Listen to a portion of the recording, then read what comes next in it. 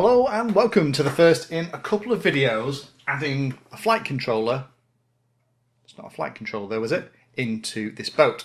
Now this boat is something that I've already had a look at so I'll put a link below if you want to go and uh, have a look at it. It's immense fun on its own. Uh, you don't need to put a flight controller or FPV on this to have a blast but of course I put flight controllers in most things and FPV stuff as well. In fact, you may have noticed in that review that I did actually stick a little FPV pod here just to hammer about. But I have had lots of interest in putting um, a flight controller in something like this and having a play. And I'm interested in having a play with that too. There's two main options that I'm going to explore. Uh, first one is going to be iNav. That's going to be what we'll do in this video and probably the next one. And then I'll blow the flight controller away and we'll put Arduboat on it. Now, the setup for things like this and for things like rovers or cars is identical. So all the stuff I'm going to go through here is going to be useful whether or not you have something like this or you have something like a RC car that you want to add functionality to. Now, a couple of things to think about before we get into this. Uh, those of you that haven't watched any of my other iNav series, iNav for Beginners 2020 is definitely where I recommend you come from. If you haven't watched any of those videos, I'm going to skip over some of the basics for iNav, so I'd make sure you're familiar with how to do the basic iNav settings, things like calibrate the accelerometers, etc. Because here I'm going to really focus on the difference between a standard setup that you've seen on the channel many, many, many, many times, and what you need to do to set up something like this or a car. One of the big differences is the way that ESC works. Now, in a traditional plane ESC, you go from zero to uh, 100% throttle in quite a linear line, and that corresponds to the low high throttle. On something like this, there is either reversing, or this one doesn't have reversing ESC, but it works in a similar way. And the way it works is the middle channel position for throttle going to the top position is considered forward, and from the middle channel position going to uh, the lowest position is considered reverse. So whereas on a plane, 0% throttle is 0% throttle, on something like this, with a reversing ESC, or then actually 0% throttle on the radio is actually 100% reverse. 50% throttle is don't go backwards and forwards. So that is one of the big things that you have to be careful of and one of the big things that you have to think about. Um, when you are setting something like this up, again, we're going to cover iNav in this and Arduboat next. Uh, this is probably not the way that I'd start. Um, you you don't have to buy a boat like this. I've seen people make boats inverted commas uh, from things like child's flotation devices, the kind of thing that you get for your kid when they're learning to swim at the pool. They look like little foam tombstones. Uh, you could get one of those, put a little motor at the back, or have two little thrusters each side. The more stable, the better when you're playing with things like boats, particularly things like this. If it turns over and capsizes, then I'm going to have to go for a swim or a wade to go and recover it. Uh, so think about that. The more stable, the better. And also, if you're thinking about putting a flight controller in something like a bait boat, there's usually a couple of tubs at the back that you can operate by a servo, and I'll talk about that as part of the video. There are some limitations with the iNav boat and rover setup. Uh, let me cover those. At the moment when I'm recording this, this is uh, early October. The 2.5.2 code is very new. There are some very basic functionality. First of all, this is no position hold. Uh, position hold, you don't need a position hold for a car, really, do you? Because you kind of stop and it just kind of sits there. Uh, with a boat, it can be a little bit more exciting. So, for example, if you're in a body of water that has a current, uh, there isn't a way with iNav to say keep your current position, whereas with some of the other technologies there are. Uh, return to home is in a straight line as well. So if your boat goes behind an obstruction on the pond or the lake or whatever it is that you're playing with it on, you turn return to home, it's going to try and come straight at you and potentially run aground. So ideally, what you want is it to retrace the steps that you uh, use to take it out to that position. Doesn't do that yet in iNav. And the other thing is a compass is required. And that again is because if it's sat still, you need to know which direction it's pointing in order for it to do things like the autonomous missions or return to home. Uh, and normally with a plane, because it's moving all the time, you can figure out which direction it's going in. This is very much like a multi-rotor. It could potentially be going in any direction, so you do need a compass installed on this as well, which does mean you need to make sure it's well away from all the other high voltage electronics. Now I'm adding this because I just want to see what it's like and have a play with it. I want to put FPV on this boat. The idea is me and my buddy can chase each other, and I like the on-screen display that shows me the battery voltage, flight, flight time. Some of these terms don't really work, do they, for boats? But uh, all that information around um, so that I can kind of make sure that I don't ever get in a situation where I leave my boat stranded because I've been an idiot. Uh, I was just interested to see how easy it is set up, and I'm going to use a very cheap and cheerful flight controller to do it on. This is an Omnibus F4 Pro. This will also allow me to monitor the current, cheap and cheerful GPS unit, little S-Bus receiver, with a camera and video transmitter on here, we will be good to go. So it isn't an expensive thing to do. I could have used something like a Matek flight controller, but to be honest, there's a good chance it might get wet. Now, I am uh, going to coat everything uh, in conformal. Uh, conformal coating will help it resist moisture if it does get a bit wet. It's a boat, there's a good chance it will. And hopefully that will make sure that if it does ever capsize or fill with water or whatever, uh, nothing shorts out. Um, Always read the wiki because things are changing all the time. I've just covered a, a lot of the limitations in the current version for iNav. Go and read the wiki because it will be changing all the time and things will be improving as more people use the code and ask for particular things to be added. And finally, as I mentioned, you could easily add a servo at the back uh, into one of the spare outputs on your flight controller that could operate a servo. So you flick a switch on your radio and it drops the bait in the water. So that could be what I think most people have been asking me for is the ability to send a boat to a specific position in a lake and then kind of hit the button and drop the bait in. Now, in terms of setting up the flight controller, the flight controller setup is exactly the same. And all I've done is I've just followed all the wiring diagram here for the Omnibus F4 Pro that's listed in the iNav documentation. Again, I'll put a link below so you can go and have a look at it. It shows very clearly how you connect up the S-Bus input and it shows how you wire up the GPS. And I've just followed exactly those wiring diagrams to come up with these two connections. There's only one little trick that I've used, and that is with the power for the output rail. I've changed the 5 volt pins so that all of the 5 volt pins except the one connected to the receiver are connected together. So that means that the 5 volts coming in from the ESC is going to be one that's powering the rudder servo and that rudder servo isn't going to be run from anything to do with the flight controller and that'll just protect the flight controller from any overcurrent and it keeps the 5 volts on here nice and clean because it's going to be running the GPS and also the receiver too. So nothing particularly clever or smart about that but hopefully these pictures have helped you see how I've got it set up for the bench. On the radio, it's a little bit more complicated. On the radio, the normal radios for these kind of things have the pistol grip, where in the middle it is neutral. Remember, the middle throttle channel value is don't go backwards and forwards. And as you pull the trigger, that's forward. And as you push the trigger away, that's usually reverse.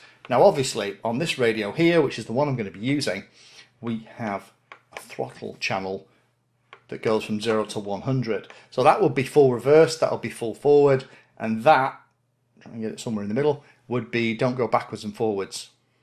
That isn't great.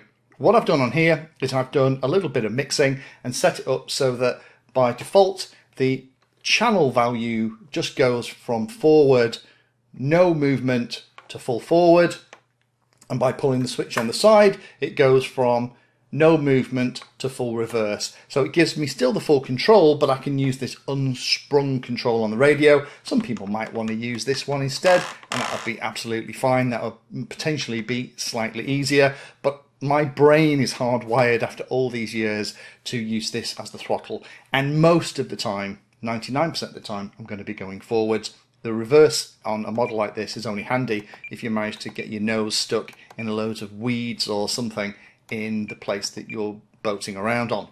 What I'll do, I'll share the file for this particular model down below so you can just download it and have a look. So let's just jump onto iNav and let me show you the key things that I've done in iNav apart from the basic setup and calibration of the flight controller so that it's ready to install into the model next time. So when you flash the flight controller for the very first time, you're going to be given a number of choices. Obviously, the one you want to choose isn't multi-rotor, isn't fixed wing, it's going to be rover and boat. And then the rest of the setup in iNav is very different. But let me show you the couple of things in iNav that you're probably going to have to tweak in order to get everything working. First of all, let's go into the uh, standard setup stuff and let me give you a very quick tour. Obviously, I've done the calibration as normal. The mixer, what I did, I load and applied the boat mixer. There's obviously um, boat and rover, and the boat mixer has automatically given me one output for the throttle, surprise, surprise, and it's also given me one output for the serve, uh, one servo output, which is going to be stabilized yaw, which is going to be for the rudder. Uh, outputs, we're not going to do too much in here, although you'll notice that the motor output by default is sat at 1480, something like that. Uh, that's because this is a reversible ESC, and let me show you how I've got all that set up. And the servo for the rudder is just at the moment 1500. When we install it into the model, we might have to reverse it here if it's moving in the wrong direction. Uh, presets, we haven't done any of that because it's kind of already kind of set when you go and select boat or rover at the beginning. Ports on this particular model are set like this, so the only thing we've really got is the GPS on UART6 as it's wired up. Uh, the pins that will be used for UART3 are being used for the uh, I squared C connections for the external compass, which we've got up here. The configuration tab, a couple of things in here that we need to have a look at. First of all, is obviously we've got the GPS turned on. Uh, we've got stop motors on low throttle turned on because once we return the throttle to zero, we want the wheels to stop running or the prop to stop turning. And that's also where we're going to turn on reversible motors mode. And that is going to mean that, again, middle throttle position 1500 is going to mean we don't want to go forwards and backwards. And moving away from that middle channel position is going to go either way. By turning that on, that is why in the outputs, our motor is sat at nearly 1500. Just jump back to configuration. Okay. Now, over here, what we have is we have the reversible motor settings. So the neutral will set 1500, and this depends on um, how your ESC is going to work, but I would go for something like that to begin with. So middle channel value 1500 is going to be neutral, and then reversible is it's going to kind of start from 50 above that and 50 below that. Let's just save and reboot that. Don't forget it. And that's most of the stuff that we need to worry about in here. A couple of things in the CLI. There's one called max throttle. Now, max throttle by default is 1850. I would say for something like a car, we can probably go up.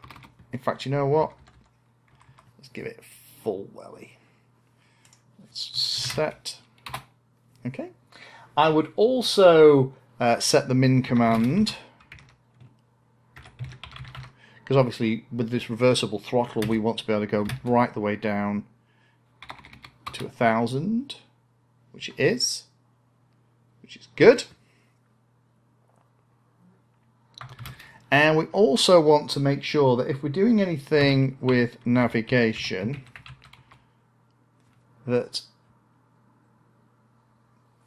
navigation disarm on landing is off because uh, we don't want the model disarming. If the boat comes back to us, uh, we don't want to then find we can't arm it and, and drive it around, we want to be able to uh, do that. So that all looks good.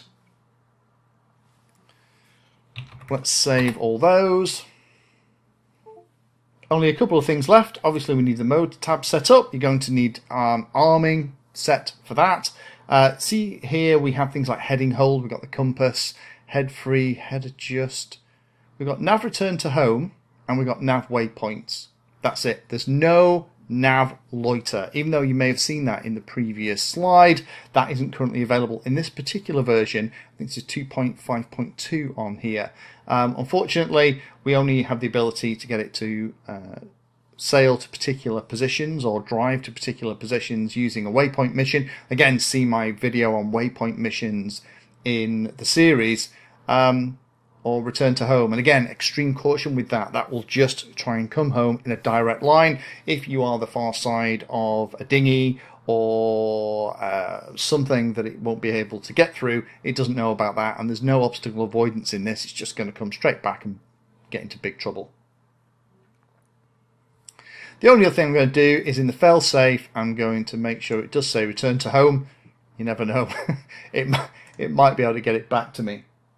And those are the main things that you need to do in iNav. So the vast majority of it is around how to handle the bidirectional ESC. So that along with the radio settings that I've shared in the link below should be enough to get us ready to pop it into the boat.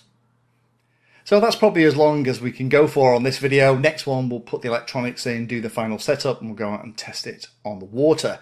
The trick, of course, is to make sure that you have set up the flight controller as you normally would in iNav and have done those changes. The majority of those changes are around the fact that you're going to have some form of reversing ESC and the throttle value is going to be around 1500 when you don't want the boat going backwards or forwards. Obviously, we're going to have to think about how everything's going to fit in the boat, but we can do that next time. And you also know about some of the limitations with the current version of iNav Rover, and hopefully that's going to help if you want to put this in something like a car as well. Again, putting this in a car is going to be almost exactly the same because you've only got the two controls. You particularly have a throttle and you particularly have a steering servo. And this is exactly the same as I've got here. I have a throttle output and I have an output for the rudder. So you can use the same settings that we've just gone through for a Rover 2. So join me next time, we'll put this in the boat and we'll take it out for a spin.